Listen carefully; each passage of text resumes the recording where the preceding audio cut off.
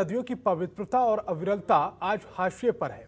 लगातार घटता जल स्तर और सूखी नदियाँ जहाँ चिंता का विषय है। वहीं औद्योगिकरण से हो रहे प्रदूषण के चलते नदियों का पानी उपयोग करने लायक नहीं बचा है। इसी पर एक रिपोर्ट।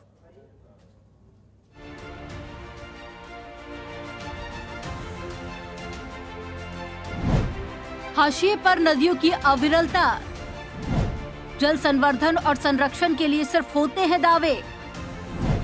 हकीकत में अस्तित्व विहीन हो रही कई नदियाँ। दूषित पानी से नदियाँ हो रही मैली। प्रशासन की अनदेखी से भी खत्म हो रहा नदियों का अस्तित्व। नदियों की अविरल धारा की पवित्रता की कभी कस्में ली जाती थी, मगर आज वो पवित्रता जनमानस के कच्चे लालच और लापरवाही से मैली हो चुकी है। इतना ही नहीं, कई नदियों का तो अस्तित्व ही खत्म हो गया। तो कुछ नदियों का पानी सूख गया।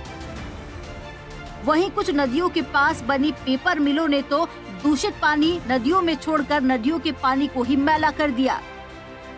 जबकि नदियों के संरक्षण और संवर्धन के लिए सरकार की तरफ़ से कई योजनाएँ चलाई जा रही हैं। साथ ही प्रदूषण नियंत्रण बोर्ड को भी नदियों की अविरलता के लिए कई ज़िम्मेदारी दी गई है। केंद्र सरकार की तरफ़ से भले ही नदियों के संरक्षण और संवर्धन के दावे किए जा रहे हो, लेकिन जमीनी हकीकत तो कुछ और ही बया करती है। कहीं नदियों में अतिक्रमण हो चुका है तो कहीं नदियों में दूषित पानी छोड़कर नदियों के पानी को पीने योग्य नहीं रखा गया। इसके लिए अब विभाग जागरूकता अभियान के साथ साथ प्रशासन की मदद से नदियों को बचाने की पहल की शुरुआत करने जा रहा है। बहरहाल नदियों का अस्तित्व धीरे धीरे खत्म होता जा रहा है। और नदियों को स्वच्छ रखने को लेकर जनप्रतिनिधि हो या फिर प्रदूषण नियंत्रण बोर्ड के अधिकारी, सभी के दावे खोखले साबित हो रहे हैं। वहीं अधिकारी सेमिनार और सरकारी फाइलों में ही नदियों के संवर्धन और संरक्षण के ढोल पीटते रहते हैं। लेकिन अब देखना ये होगा कि क्या वाकई में विभाग नदियों के अस्तित्व को बचाने की इस पहल पर सही दिशा में काम कर पाती है। जनतंत्र टीवी के लिए आरिफ खान की रिपोर्ट काशीपुर।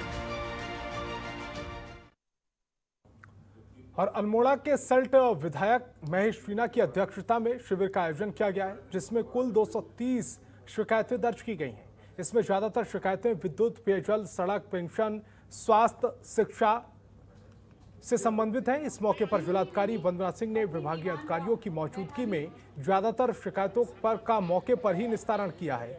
शिविर में सबसे ज़्यादा लोगों को विद्युत विभाग से संबंधित शिकायतें मिली हैं, जिसे लेकर जिलाधिकारी ने संबंधित अधिकारियों को जल्द से जल्द सभी शिकायतों का निपटारा करने के निर्देश दिए। वहीं जिलाधिकारी ने अधिकारियों को कड़े निर्देश दिए हैं कि सल्ट की सभी न्याय पंचायतों में शिविर लगाए जाएँ।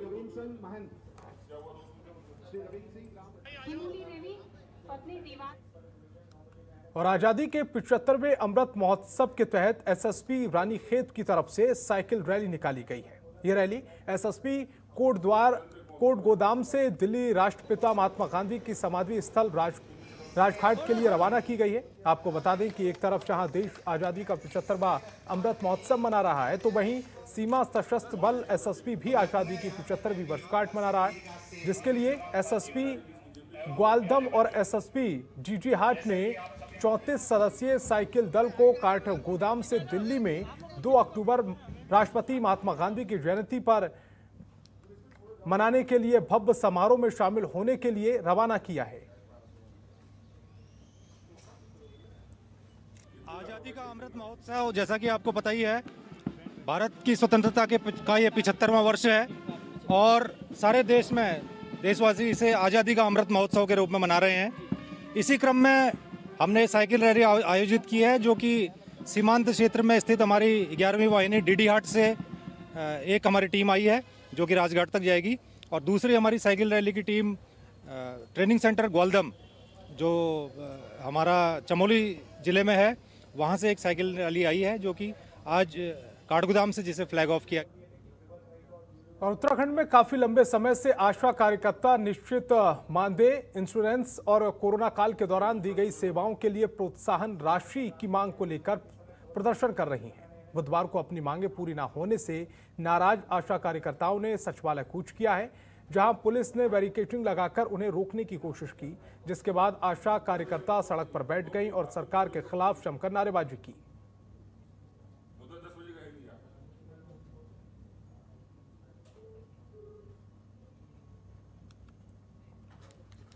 और उत्तराखंड एसटीएफ ने एक साथ सितारगंज और रुड़की में सटोरियों पर कार्रवाई की है। दोनों जगहों पर रेड में एसटीएफ ने तीन आरोपियों को गिरफ़्तार किया है। आपको बता दें कि एसटीएफ की टीम ने रुड़की में सटोरी शशांक गोयल को अरेस्ट किया है। तो वहीं सितारगंज में भी दो आरोपियों को ऑनलाइन सट्टा खेलते हुए गिरफ़्तार किया गया है। वहीं एसटीएफ पुलिस अधीक्षक चंद्रमोहन सिंह ने बताया है कि आरोपी शशांक सुल्तान छियासठ एप्लीकेशन पर ऑनलाइन सट्टा खिला रहा था। लोगों की तरफ़ से सट्टे पर लगाई गई रकम को आरोपी के आईसीआईसीआई बैंक के खाते में ट्रांसफ़र किया गया था।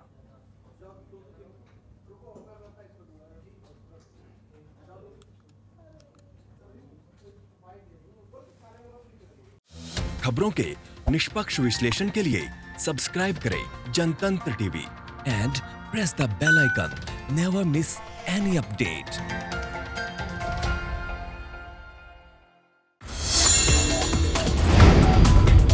Download the Janatantra TV app, available on Google Play and App Store. Download it now